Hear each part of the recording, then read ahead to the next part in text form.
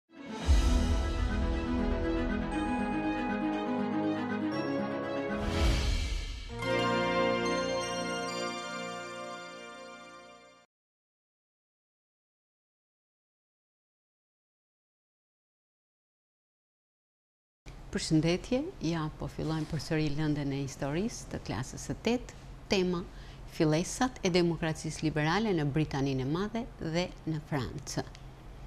Terma kyç, konservator, liberal, Victoria, Disrael, radikal, antisemitizëm. Rezultatet e të nxënit që do trajtojmë gjatë kësaj teme.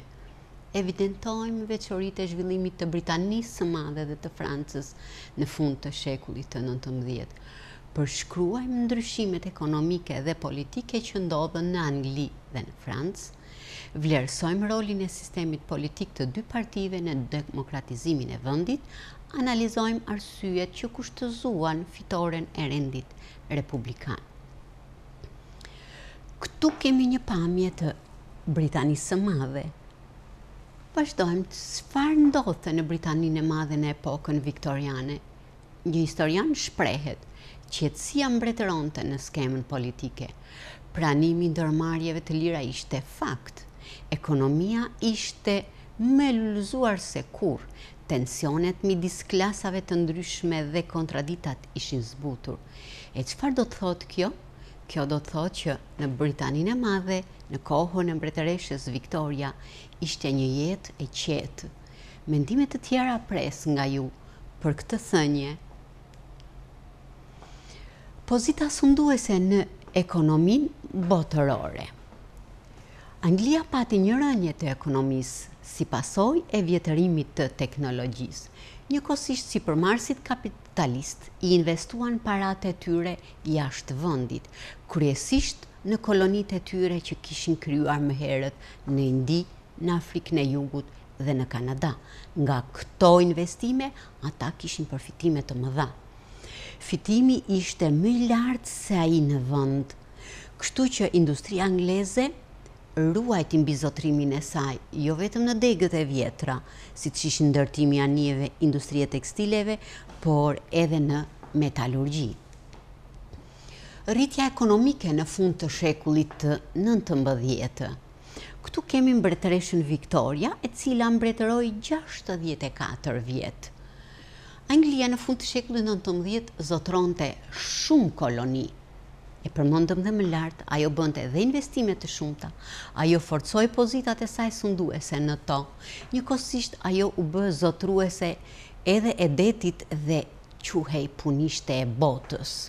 Anglia njohu periudhën më të gjatë të jetës së saj, e cila ishte një jetë paqësore Ishte një jetë larg konflikteve. Në vend sundonte mbretëresha Viktoria, ndaj dhe periudha u quajt epoka viktoriane. Gjatë kësaj periudhe lulëzoi industria, lulëzoi tregtia, lulëzuan bankat, lulëzoi arsimi. Njëkohësisht Anglia siguroi pasuri të mëdha. Organizimi politik i Anglisë. Anglia ishte monarki kushtetuese. Mbreti ishte kryetar i shtetit, pra kush ishte mbreti? Mbret ishte mbretëresha ishte Victoria. Monarkia përbëhej nga dy organe drejtuese, Njëri ishte organi ligjvënës, ose parlamenti, tjetri organi ekzekutiv, ose qeveria. Mirëpo, çfarë roli kishte mbretëresha Viktoria? Ajo respektonte qeverinë, respektonte parlamentin, ajo respektonte edhe kushtetutën. Nuk kishte një rol sundues mbi to. Jeta politike në Angli. Mbretëresha Viktoria vazhdoi të qëndronte në fron, në plan të dytë në jetën politike. Qeveria drejtohej nga kryeministri dhe drejtohej në bazë të vullnetit të popullit, në bazë të votës. Britania u bë vendi i parë demokratik ku respektuan liritë dhe të drejtat e individit. Në Britani ekzistonin dy parti politike, Partia Liberale dhe Partia Konservatore. Drejtues i Partisë Liberale ishte Gladstone-i, ndërsa drejtues i Partisë Konservatore ishte Disraeli. Qeveritë e krijuara jo vetëm premtonin, por edhe mbanin premtimet, sepse përndryshe ata do të rrëzoheshin me votën e popullit, kjo gjë solli përmirësimin e gjendjes së vendit, të popullsisë, të ekonomisë dhe të fushave të tjera. Fillesat e demokracisë liberale në Francë. Këtu kemi një pamje të Francës. Shikojmë Franca me kë kufizohet, ajo ka dalje të gjerë në Oqeanin Atlantik, ka dalje dhe në Detin Mesdhe. Ajo kufizohet edhe nga shtetet si Gjermania, Zvicra, Italia dhe Spanja. Lufta franko-prusiane e cila është zhvilluar në vitin një mijë e tetëqind e shtatëdhjetë deri në vitin një mijë e tetëqind e shtatëdhjetë e dy i solli Francës disfata të mëdha, i solli humbje. Franca nënshkroi paqe me Gjermaninë. Nga kjo paqe, ajo humbi krahinën Alsas-Lorenës, e cila ishte një krahinë e pasur me hekur. Njëkohësisht, ajo Franca duhet të merrte 5 miliard franga ari që do t'i merrte nga Gjermania. Borgjezia franceze i investoi këto para jashtë vendit, kështu Franca u kthye në një shtet huadhënës, nga kjo ajo kishte përfitime të mëdha. Vendosja e Republikës në Francë, pas disfatës në luftën me Prusinë, forcat monarkiste u përpoqën të vendosnin kontrollin në vend. Ata u përpoqën të vendosnin kontroll në Asamblenë Kushtetuese, njëkohësisht edhe në ekzekutiv, por ata dështuan. Në vitin një mijë e tetëqind e shtatëdhjetë e pesë, Asambleja Kushtetuese e shpalli Francën republikë. Kjo ishte republika e tretë në historinë e saj. Ju i keni mësuar dy republikat e tjera, juve mund të vendosni në fletoren tuaj ose aty në anë të librit ku po lexoni njëkohësisht edhe vitet kur janë shpallur dy republikat e tjera të Francës.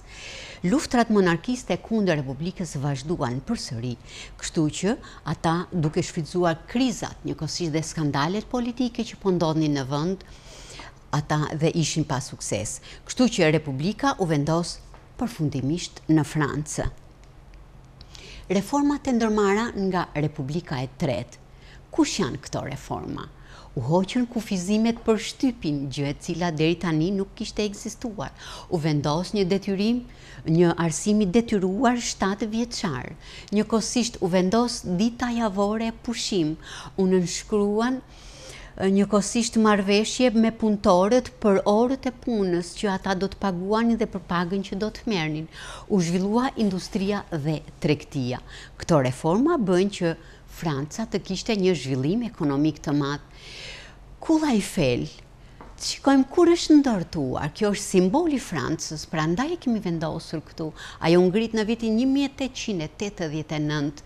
Njëkohësisht ajo është simbol i zhvillimit të Francës, i madhështisë e ekonomisë franceze.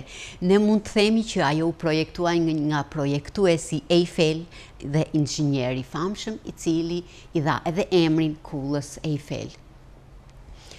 Punë në shtëpi.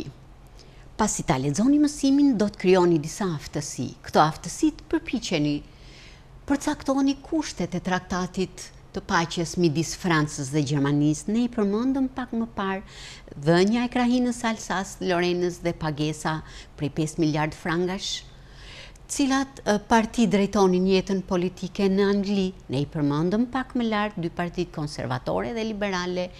Cilat janë reformat e Republikës së Tretë franceze? Pasi t'i zgjidhni këto, do të kuptoni që ju keni kuptuar fillesat e demokracisë në Britani dhe në Francë. Fjalor, konservator, përfaqësues i një grupimi politik që synonte të ruante njëkohësisht rregullat e vjetra, liberal është përkrahës i rrymës që i jep liri të pakufizuar veprimtarisë së individit në shoqëri, antisemitizëm, lëvizje që diskriminon popullsinë hebreje e cila kishte zënë vend gjatë këtyre viteve. Faleminderit.